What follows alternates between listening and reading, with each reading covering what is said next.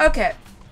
Today, I'm going to show you how to get infinite money in Guilty Gear Xrd Rev 2 so you can buy all of the extras in fishing. Uh, the way you will do this is after you do everything I tell you to do in this video, you will then um, go fish for all the items and just continue replenishing your money until you have every item. Uh, that being said, we're going to use Cheat Engine for this today. So first thing you're going to do is open up Cheat Engine. I will put a link to it. Um, so here's Cheat Engine.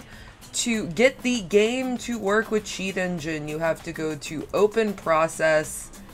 Right here, File, Open Process, Guilty Gear Xrd Rev 2. Click Open. Now we are being able to use the game. So right now you see we have 900, 9,999,000 999,997,999 world dollars.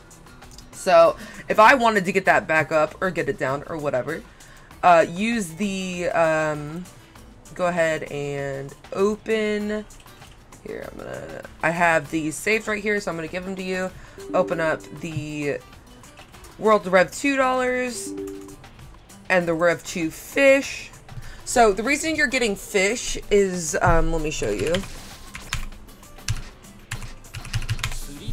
Let me edit my world dollars. So I'm gonna give myself, let's see, I'll give myself 200.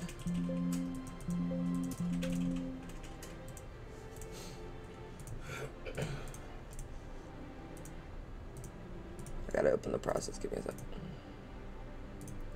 So here, let me get myself 200. Oh, I'll get myself 5,000. Okay.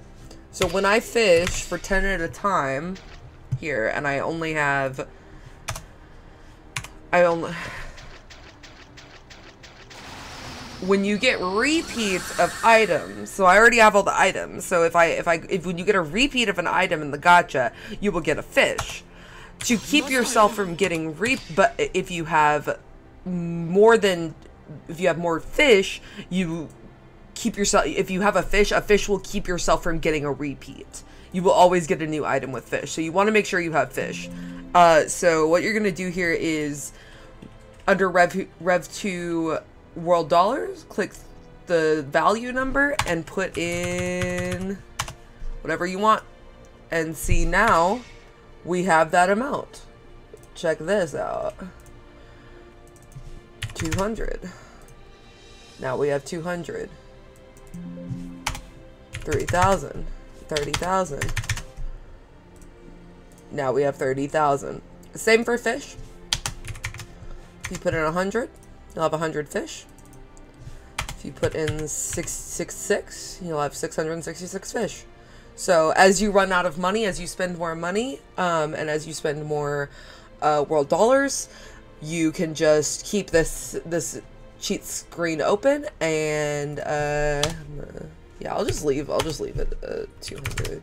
I don't want to leave it at 666 because that's weird. Uh, and then, um, so now that's all. Just leave this open and you can continue editing it. So then you just go to fishing. You fish you'll get 10 new items. So this does take about 45 minutes. You do have to continue fishing. Um, so I already have everything, so I'm not going to get anything. But you do have to continue fishing the entire, until you have everything. Um, because there is no way to just mod everything else into the game. Uh, so that is how you cheat engine, use cheat engine to get infinite items in Rev 2. Have a good day. Thank you for watching. Bye.